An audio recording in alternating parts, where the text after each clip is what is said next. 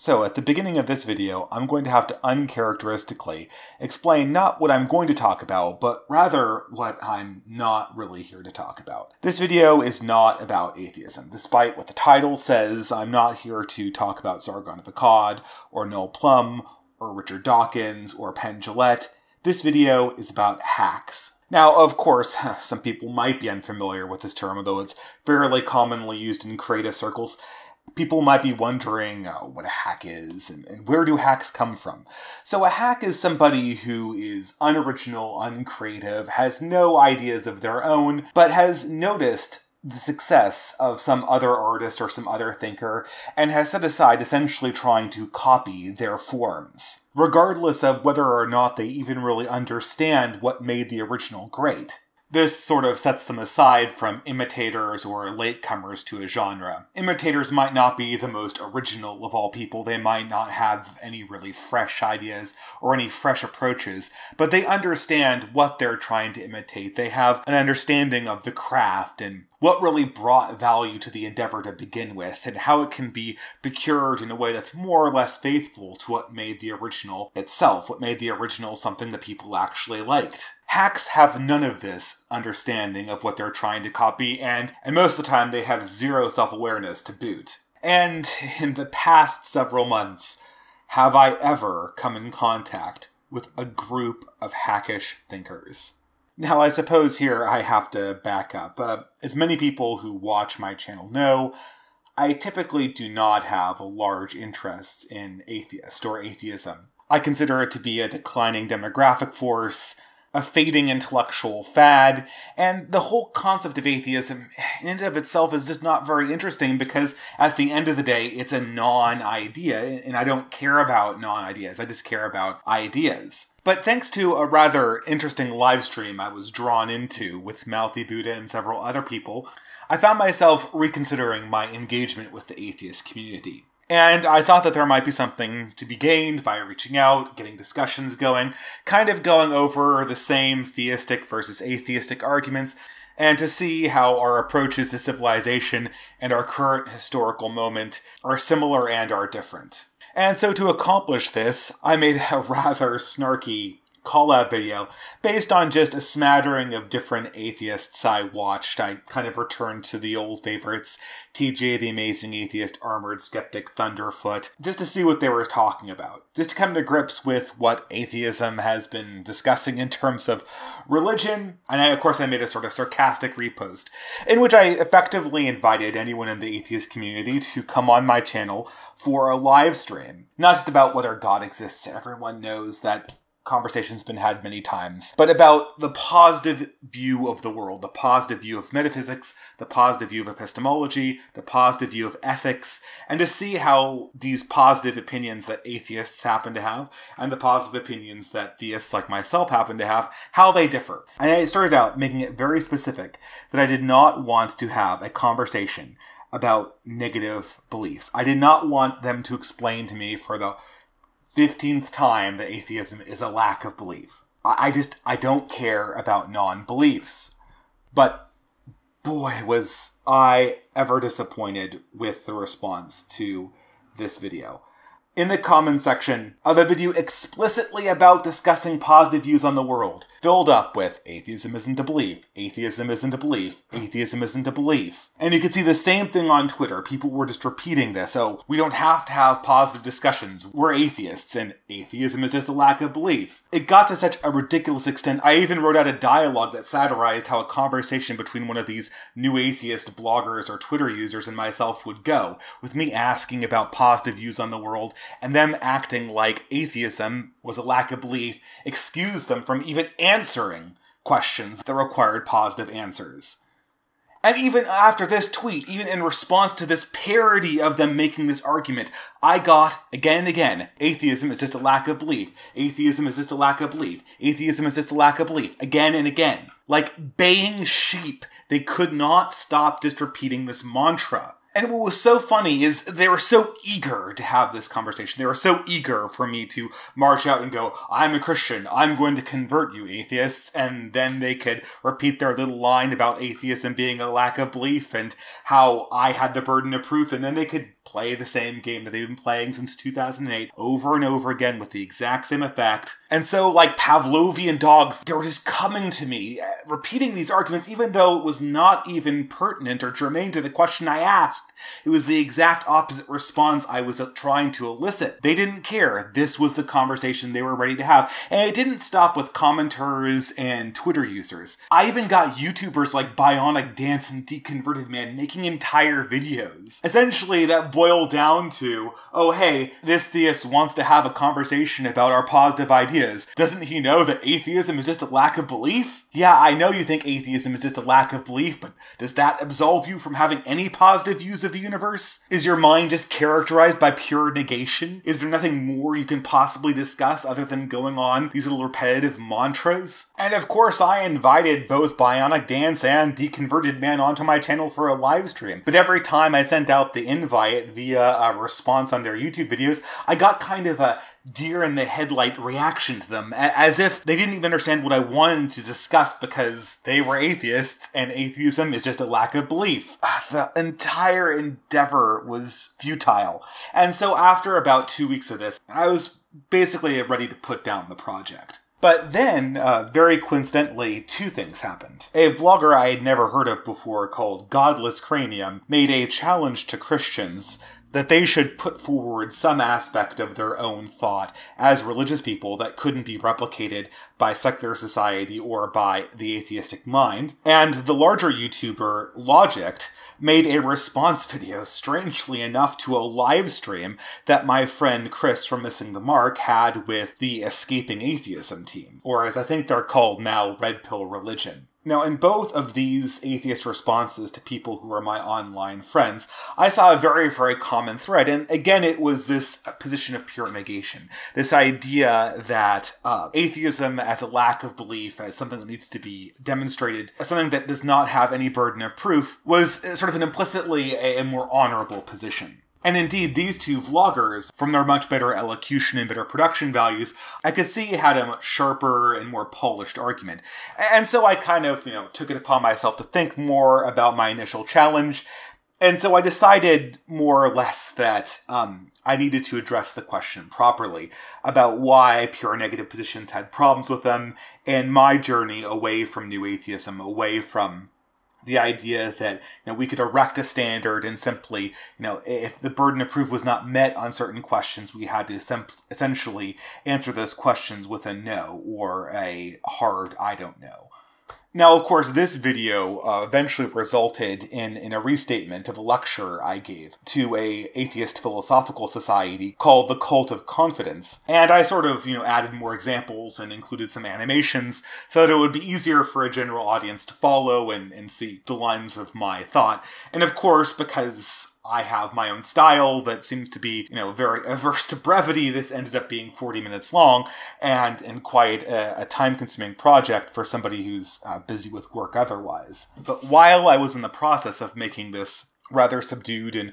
more or less polite and explanatory video about epistemology, I was able to act as sort of a spectator for how the dialogue of Godless Cranium and Logicked worked out between them and other theist channels online. And ah, my god, if ever I thought a quick tongue and high production values correlated with additional honesty, I was sorely disabused of it by watching how this particular conversation played out. I'll start with the conversation between Godless Cranium and Mauritian Struggle first.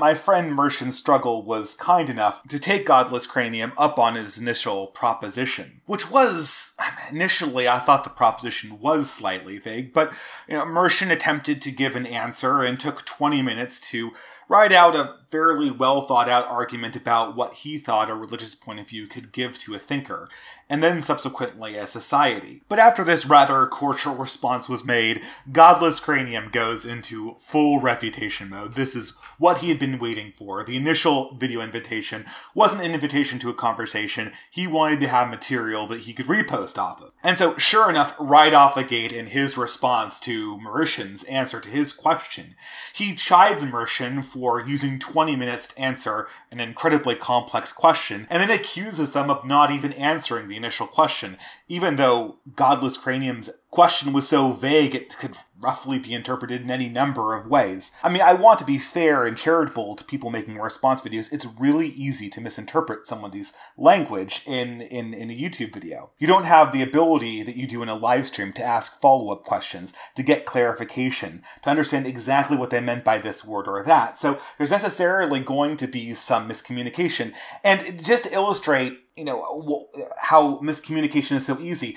Godless Cranium can't even get Merchant Struggle's name right. Can't even pronounce the name. He can't even go to previous videos and see how people pronounce the guy's name. So we, we, we need to understand right off the bat misunderstandings and, and, and misstatements of words they're part and parcel of the response video format, but not that he cares, because it's very apparent in Godless Cranium's response to Merchant that he has no intention to engage. He, he just wants to mock and grandstand. It, you know, Merchant makes several arguments and he, he, references philosophers, and Godless Cranium is just I don't I don't know if it's intentional or not, but he's just not understanding what Merchant is trying to get across. And if that's not enough, for the stuff that touches on mathematical theory and the incompleteness theorem, of which I've talked extensively about on my channel, he brings in another YouTuber who's similarly not qualified and does not seem to have read any of the history of this type of thought to further misunderstand Merchant's response video. And at the end of this, they're just reinforcing each other in this incredibly indignant video. I mean, by the end, they, they look like they're so put upon by what Merchant is trying to explain. I mean, this is a video response that they asked for. They solicited this video, and, they act like Merchant just keyed their car and they're explaining to him how much he damaged their lives. I mean, to my mind, the indignation they have is totally fabricated. But just going forward, Merchant tries to clarify again in a, in a live stream. And then today, another response video, this time even more indignant. These people, they, they sound furious. They, they sound like this guy is like killed their cat or something and they accuse him of wasting their time and and and purposely misunderstanding him and any number of things. And of course in all these atheist videos there's a constant insinuation that the person they're talking to is stupid and can't understand and and is ridiculous. And you know it's all done in this overblown over the top kind of uh, voice that communicates maximum amount of umbrage. And oh my god i just i could hardly get through the series of videos. And all the while i was just looking on wondering why don't they just do a live stream? They could clarify what they actually meant. I mean, in a response video format, you only get one go at it. You get to say what you want to say, and then the other person has to listen. He has to, you know, figure out what you mean by the particular words you chose, which could have been chosen for dramatic effect. And in that there's a huge amount of area for misunderstanding. But you know, in a live stream, someone says something, they don't know exactly what you mean by that. You go, okay, can you define that? And then you know, ten seconds, and the clarification is made. And for people who, who may not do YouTube, I mean, these response videos, especially the kind they're doing with the animation and you know the cutaways to, to the character wearing like Jedi outfits and and various different fan art, these are incredibly time consuming. And that's just not time consuming for me. I mean, the, the people making these response videos, they literally complain about them being time consuming to make. And when misunderstanding is this such a large part of the whole endeavor, you have to wonder why they're actually taking this approach. But of course, that that's just the tip of the iceberg, because at the exact same time, uh, the, the very large YouTuber Logicked was, was centering his sights on missing the mark one of my online friends by the name of Christopher. Now, in a really, really weird move, uh, Logicked, a YouTube channel with close to 100,000 subscribers, decided to do a response video to a live stream of a variety of channels that have close to 1,000 or 2,000 or 3,000 subscribers between them. And again, like in typical form, Logicked looks at this conversation, acts like it's directed at him, and carries this incredible umbrage as if, you know, the Escaping Atheism team and Missing the Mark left this live stream video outside of Logicked's house with a flaming bag of dog shit right on top of it. These are small channels talking. Logicked literally had to go out of his way to look at this video and find it and do a response video. Now, I, I had a lot of trepidation when when watching this particular video by Logicked. I'm sure most people who watch my channel know that I'm a Christian, I'm a Catholic, I'm a theist. They probably would assume that I would be watching it naturally expecting to come out on Max Kolbe and Missing the Mark side and, and denouncing Logicked for being an atheist. But I, I actually approached the video much more neutrally than a lot of the fans of my channel might imagine, as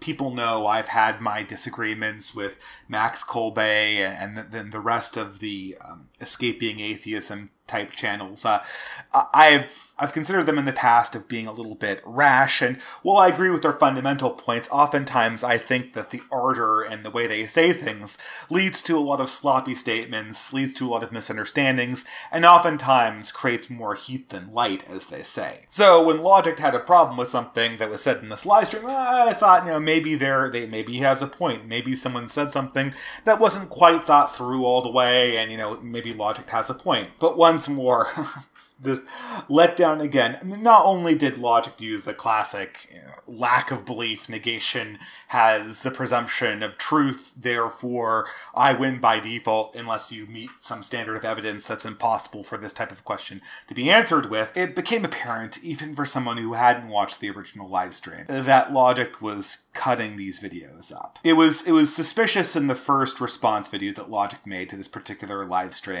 but as Missing the Mark uh, in turn made a response video pointing out some of the misinterpretations and misunderstandings that Logicked made, and as Logicked persisted in making yet another response video to this live stream, it became incredibly clear that Logicked was cutting up clips of people talking, taking things out of context, misinterpreting how comments were directed in order to create the image of this idiotic and asinine Christian group of people talking about ideas they didn't fully understand. And so, even though I wasn't done with my own video, I tweeted this out, uh, saying that, that this was incredibly dishonest, and I got a response from Logicked on Twitter and of course, that's when the shitstorm started. Because when you interact with a YouTuber as large as Logicked, you don't just interact with him, you interact with his fans. And, you know, he retweeted it. I made the clarification that all I was looking for was some way to figure out his interpretation of Missing the Mark's words and how he came to characterize their meaning. And one of Logicked's fans compared me to Steve Shives, to which I simply replied that we would know who was the most like Steve Shives based on who was the least willing to have a conversation. And of course, Logicked did not like even the insinuation that he might be compared to Steve Shives, because he had no intention of ever continuing the conversation. Every time I offered him a live stream to clarify his thoughts, he threw it back in my face and demanded that I make a response video. And given the fact that I was complaining about the fact that he'd intentionally misinterpreted several response videos, I wasn't really about to continue the cycle. Again, clarification is best in a live format. And on and on it went, with Logicked acting more and more like an asshole to some degree, I think, in order to try to encourage me to block him. So he had some kind of plausible excuse to get out of the interaction with me. Because it became very, very, very apparent that Logicked had no ability to defend his own ideas inside an environment under which clarifications could be made, under which objections could be launched, in some format where snark wouldn't have full reign, and where creative editing couldn't be used to misinterpret and misplay back the ideas of his opponents. At one point, Logicked even admitted that he was intentionally wasting my time, with the hopes that I'd go away and block him. And that's pretty much the point where I lost interest in the conversation. And now, uh, today, I, I turn on my computer only to see that Logicked has made, that's it, part three of a response video to a live stream that happened two months ago. The person who's unwilling to do a live stream with any of his detractors in this conversation has made over an hour and a half of edited, costumed response videos to a live stream that wasn't even addressed at him that took place months ago. And all the while he's complaining in the response videos about how much, oh my god, this is this is so much time. I can't believe I have to respond to these arguments. I don't believe I'm so busy and I can't believe you're forcing me to make these explanations to you. I'm a busy guy and ah, oh, the, the time and how could you be wasting my time in my busy day to, to, to condescend to these terrible arguments and correct them? He could have had clarification and correction instantaneously in 20 minutes as opposed to spending hours and hours and hours of, of concocting dramatic and affected poses in front of a green screen and editing, and editing a response video together over a meaningless live stream that wasn't even directed towards him. And this, of course, brings me back to my original topic of conversation, and that is hacks. Unoriginal, and thoughtless derivative work with no content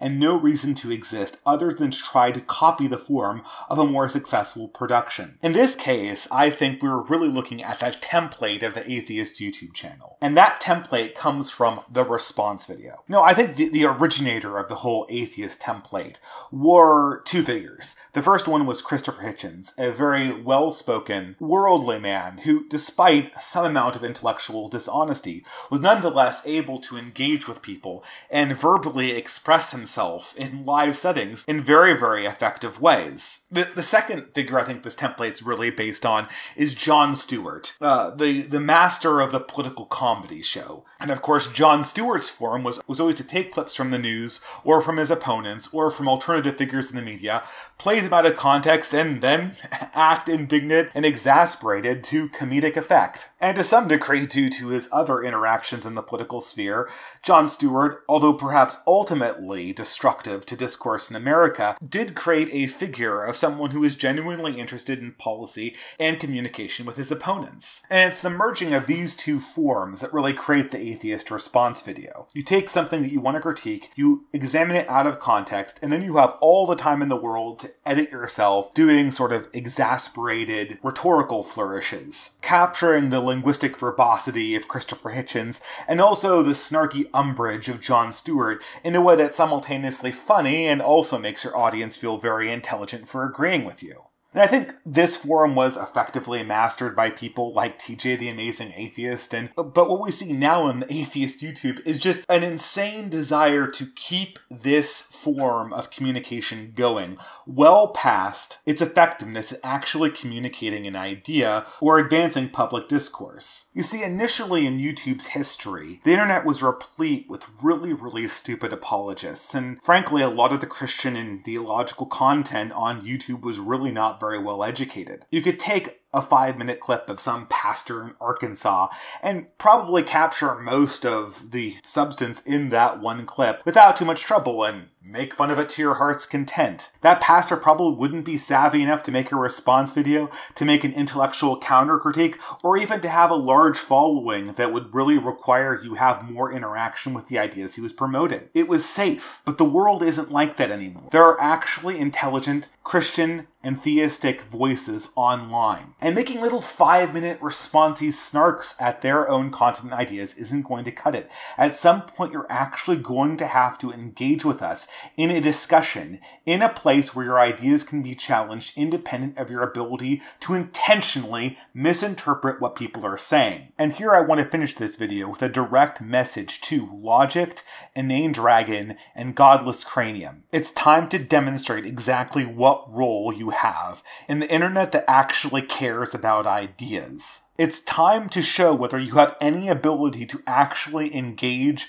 with your critics aside from simply misinterpreting them. It's time to have a discussion. Not a response video, not an endless conversation in a character limited format where you can endlessly snark and retweet to the thunderous applause of an audience who doesn't even understand the context of the conversation going on. What I'm asking for is a dialogue, a dialectic don't bother trying to make a response video to this. Don't bother cramming yourself into that three piece suit that doesn't even really fit you anymore. Don't bother creating new avatars of your icon dressed as Star Wars characters. Don't bother finding little five minute clips you can take out of context so you can mock them in front of a green screen. Let's have a conversation. Let's actually discuss the ideas you are addressing in your video and see how your positive view of the universe matches up with another positive view. The other atheist thinkers that you have obviously modeled your careers on did this frequently. It was part of being an honest intellectual in society. It was part of being somebody who actually cared about finding out true things, of advancing human knowledge, of advancing human striving. But, you know, I am not your boss. I am not your father. I am not any person who has authority over you. You're free to continue on your entertaining and probably very lucrative